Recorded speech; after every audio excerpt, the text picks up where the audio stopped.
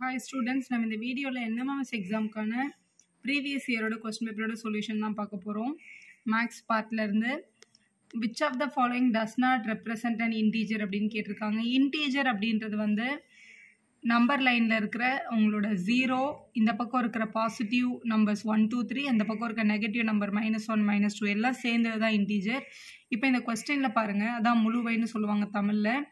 இதில் எதெல்லாம் இன்டீஜர்னு பார்க்கலாம். Zero divided by minus thirteen அப்படின்னா zero divided by minus thirteen zero divided by any number answer வந்து ஜீரோ தான். ஜீரோன்றது இன்டீஜர் தான்.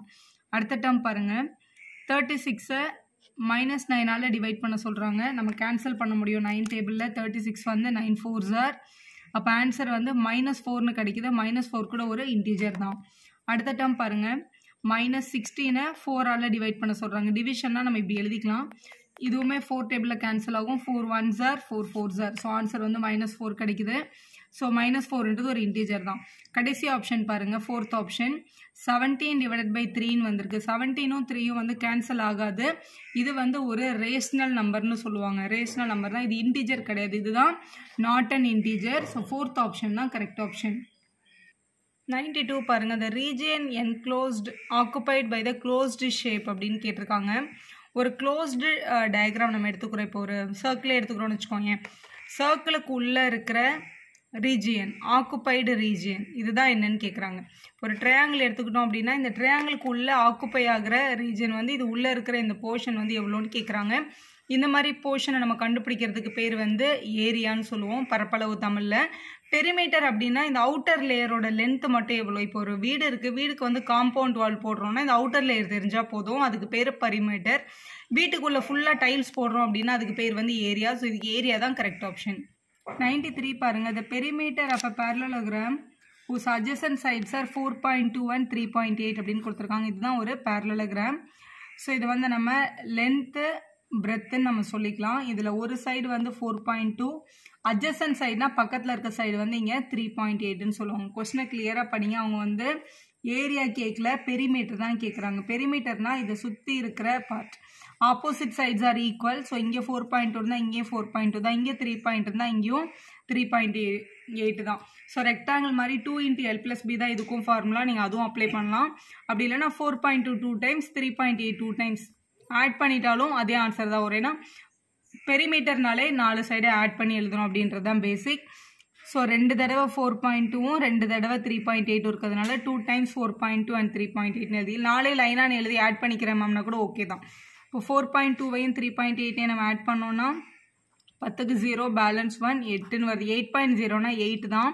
அப்போ eight two sir sixteen centimetre அப்படின்றது உங்களோட கரெக்டான ஆன்சர் இது ரெண்டத்தையும் ஆட் பண்ணிவிட்டு இன்ட்டு டூ பண்ணி கூட நம்ம எழுதிக்கலாம்.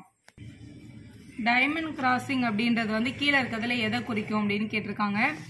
ஸோ டைமண்ட் மாதிரி கட் பண்ணுறது நம்ம நிறைய சின்ன கிளாஸ்லேருந்து பார்த்துருக்கோம். இதுதான் வந்து டைமண்ட் ஷேப் அப்படின்னு நம்ம வரைவோம். ஸோ டைமண்ட் ஷேப்லேயும் ஸ்கொயர் ஷேப்லேயும் பார்த்தீங்கன்னா எல்லா ரெண்டு பேருக்குமே நாலு சைடும் ஈக்குவல் தான்.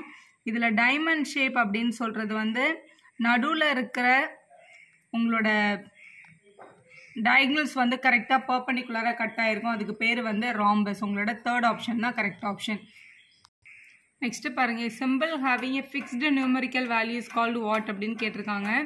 மாறாத எண் மதிப்பை கொண்ட குறியீடு எது அப்படின்னா அதுக்கு பேர் வந்து கான்ஸ்டன்ட் இப்போ ஃபார் எக்ஸாம்பிள் இப்போ three X plus four Y minus seven அப்படின்னு இருக்குன்னா இப்போ எக்ஸுக்கு வேல்யூ மாற்றிட்டே எடுக்கலாம். ஒய்யோட வேல்யூ நம்ம மாறிட்டே இருக்கும். ஆனால் இந்த மைனஸ் செவன் அப்படின்ற நம்பர் நம்ம என்ன வேல்யூ மாற்றினாலும் செவன்ன்றது செவனாகவே தான் இருக்கும். அதை வந்து தமிழில் மாறலின்னு சொல்லுவாங்க இங்கிலீஷில். கான்ஸ்டன்ட்னு சொல்லுவாங்க. அதுதான் மாறாதது. ஸோ அதான் உங்களோட கரெக்ட் ஆன்சர் நெக்ஸ்ட் ஒரு வெர்பல் ஸ்டேட்மெண்ட் கேட்டிருக்காங்க. வெர்பல் ஸ்டேட்மெண்ட் கொடுத்துட்டு அல்ஜிபிரிக் எக்ஸ்பிரஷன் கேட்டிருக்காங்க.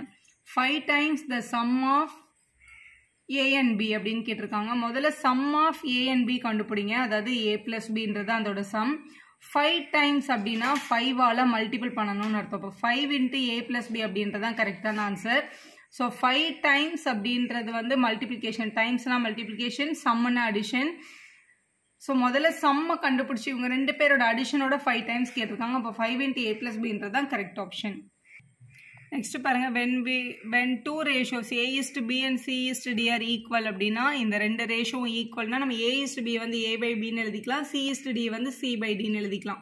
இங்கே டினாமினேட்டில் இருக்க டி இங்கே வந்தால் மல்டிப்பிளில் வரும். இங்கே டினாமினேட்டில் இருக்க பி அங்கே போனால் மல்டிப்பிளில் வரும். அதே போய் நம்மளுக்கு கிடைக்கிறது ஏடிசி ஈக்குவல் டு பிசி அப்படின்னு கிடைக்குது. So ADC equal to BC அப்படின்றது இங்கே பாருங்களேன். இதை வந்து எக்ஸ்ட்ரீம்ஸ் அப்படின்னு சொல்லுவாங்க. இவங்களை வந்து மீன்ஸ் அப்படின்னு சொல்லுவாங்க. Product of extremes equal to product of மீன்ஸ்ன்னு கிடைக்குது. பாருங்க ஏடி ஈக்குவல் டு பிசின்னு கிடைக்குது அப்படின்னா அவங்க வந்து ப்ரப்போர்ஷனாக இருக்காங்க அப்படின்னு அர்த்தம்.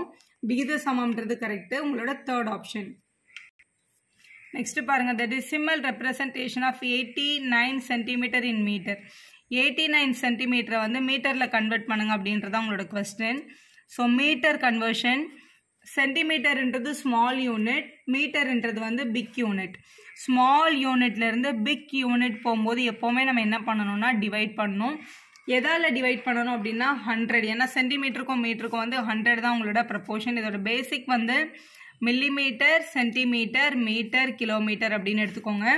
எடுத்துட்டு இப்போ டென்னுக்கும் சென்டிமீட்டருக்கும் நடுவில் வந்து டென் சென்டிமீட்டருக்கும் மீட்டருக்கும் நடுவில் ரிலேஷன் வந்து ஹண்ட்ரட் மீட்டருக்கும் கிலோமீட்டருக்கும் வந்து தௌசண்ட் அப்படின்னு எழுதிக்கோங்க.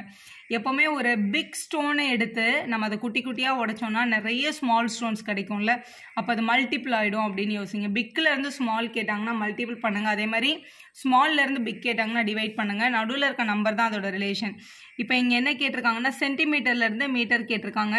சென்டிமீட்டர்ன்றது ஸ்மால் யூனிட் மீட்டர்ன்றது பிக் யூனிட் ஸோ டிவைட் பண்ணணும் எதால் டிவைட் பண்ணணும்னா ஹண்ட்ரடால் அப்போ எயிட்டி நைன் பை ஹண்ட்ரட்னு நம்ம போட்டோம்னா ஆட்டோமேட்டிக்காக சென்டிமீட்டர்ன்றது என்னவா மாறிடும்? மீட்டர்னு மாறிடும். ஸோ இதில் பாயிண்ட்டே இல்லை. பாயிண்ட்டை கடைசியில் வச்சுட்டு ஹண்ட்ரடால் டிவைட் பண்ணுங்கள் ஹண்ட்ரடால் டிவைட் பண்ண இந்த பாயிண்ட் ரெண்டு பிளேஸ் முன்னாடி போகும். அப்போ zero point eight nine metre அப்படின்றது தான் உங்களோட கரெக்டான ஆப்ஷன் உங்களோட ஃபர்ஸ்ட் ஆப்ஷனில் இருக்குது நெக்ஸ்ட்டு பாருங்கள் the place value of two in one naught three point zero nine two அப்படின்னு கொடுத்துருக்காங்க. So one naught three point zero nine two இது வந்து நம்ம சின்ன கிளாஸ்லேயே வந்து இது ones place tens place hundreds place அப்படின்னு படிச்சிருக்கோம்.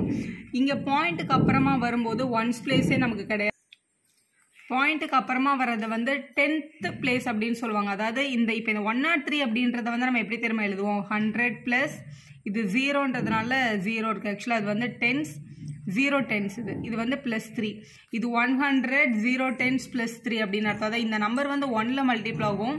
இந்த நம்பர் டென்னில் மல்டிப்ள் ஆகும். இந்த நம்பர் வந்து ஹண்ட்ரட்ல மல்டிப்ள் ஆகும். அதான் பிளேஸ் வேல்யூ அதேமாதிரி பாயிண்ட்டுக்கு அப்புறமா வரப்போகிற நம்பர் வந்து முதல்ல அதோட place value one by ten அடுத்த place value one by hundred அடுத்த பிளேஸ் வேல்யூ வந்து ஒன் பை தௌசண்ட் வந்து tenth place hundred place thousand place அப்படின்னு சொல்லுவாங்க.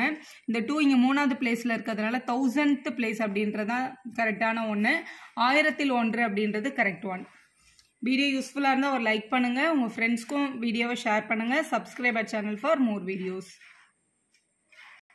வீடியோவில் தெரிகிற அடுத்த கொஸ்டினை ட்ரை பண்ணி பாருங்கள்